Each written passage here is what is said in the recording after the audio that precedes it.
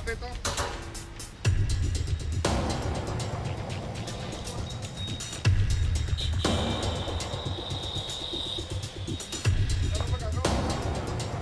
मेरे साथ देखो साहब ताज मोहम्मद के साथ बोलती चलती थी। उसने मेरी नारी थी गंदी फ़ोटो वीडियो बना के उसने व्हाट्सअप व्हाट्सअप कर दिया यूट्यूब पे डाल दिया। उसके बाद में धमकी देता मारपीट करता है और मेरे बच्चों को और मेरा पीछा करता है जहाँ भी मैं रहती हूँ जहाँ भी मेरे को धमकी देता मारने पीटने की। कहता कानून कार्रवाई एसपी कलेक्टर कुछ भी मेरा बिगाड़ नहीं सकता। जो करना है तेरे को जो कर ले। मेरा कुछ भी कुछ नहीं करेगा। और फ़ोटो डालने के बाद भी मेरा पीछा कर रहा और मारने की धमकी दे रहा मेरे को और मेरे बच्चों को और मेरे माँ बाप को जान से खतरा है। कोई गलत काम भी किया और गलत काम करा मेरे साथ।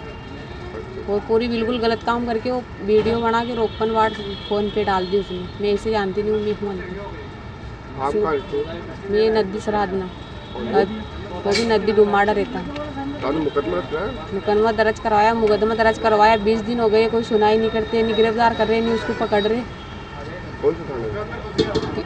गंज थाने में। है? आज वकील साहब से मिलने आए वकील साहब द्वारा ही मुकदमा लगाया था। किससे मिलने आए हो?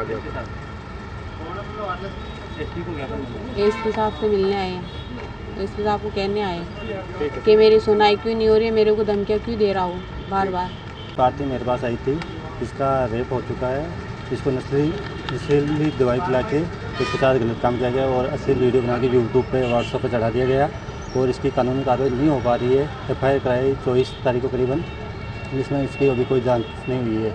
और इनको धमकी दे रहा है कि मार दूँगा वैसे कर दूँगा पूरी फैमिली के साथ। कौन से थाने में? ये गंज थाने में की गई है। आज एस पी साहब से। आपका नाम? मेरा नाम सुरेंद्र सिंह